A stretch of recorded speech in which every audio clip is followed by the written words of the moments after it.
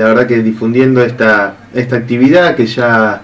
eh, viene llevándose a cabo varias, en varias oportunidades, lo hacemos de manera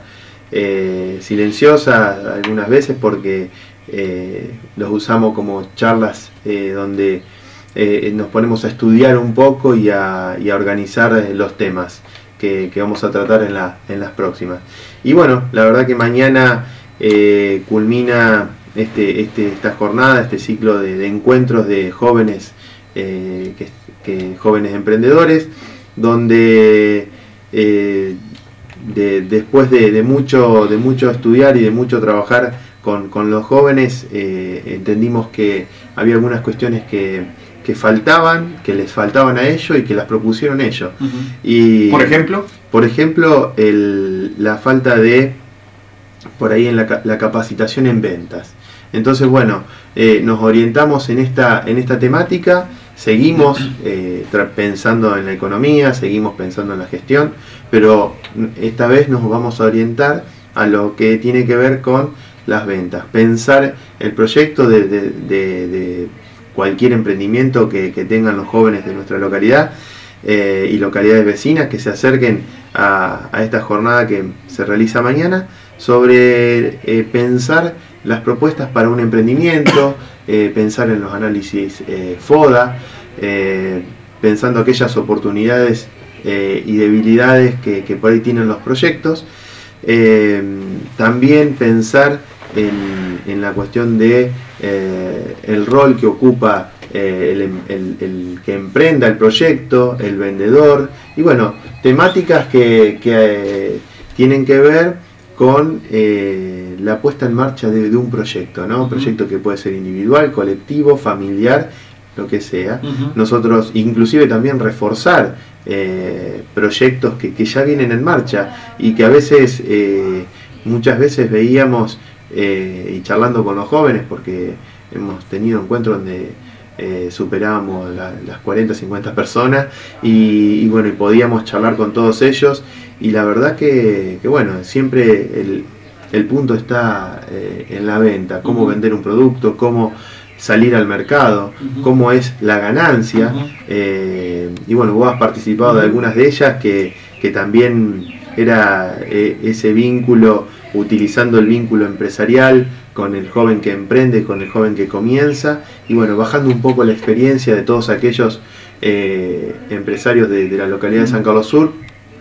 Y, y bueno, eh, brindándoles eh, la experiencia, ¿no? Porque cuando necesitamos a veces comenzar un proyecto, es bueno recostarse del lado de la experiencia, escuchar a aquellos que, ya han transitado eh, por,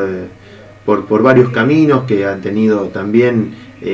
altibajos y bueno, cómo han sabido sortear esas, esas diferencias. Y bueno, y en momentos como estos reflexionar y pensar esas cuestiones nos pareció importante y se dio también, eh, una cosa llevó la otra. Y la verdad que, mañana vamos a, poder cerrar esta jornada donde una hora y media de capacitación. Y luego eh, vamos a hacer el cierre con, eh, viene el ministro de Obras Públicas, Pedro Morini, va a estar Federico Escenarro como, como empresario y también eh, vamos, a tener, vamos a tener otras autoridades eh, analizando temas eh, que, se nos vienen y cómo encarar este futuro de, San Carlos Sud, que lo denominamos San Carlos Sud más productivo, en el marco de los 160 años de la colonia San Carlos, porque son 160 años de construcción de una colonia, de un territorio que que, tiene mucha, mucha historia y muy rica empresarialmente y comercialmente. Quiere decir que mañana la cita es en principio y como prioridad para los habitantes de San Carlos Sur, pero se hace extensivo a toda la región. Sí, se hace extensivo, ya se hizo extensivo a, toda la región a partir de las 19.30. Eh, los esperamos. Eh, hay eh, no hay cupo limitado, eh, lo importante es que se acerquen, eh, que vean esta temática porque a veces puedes encontrar algún, algún paralelismo con algo que te está sucediendo en algún comercio, en alguna producción y bueno, y, usar, poder charlar con, los que con los que por ahí, como te decía antes, ¿no? utilizar la experiencia de, algunos eh, como Sebastián Benzi, como Jorge Cassini, el, mismo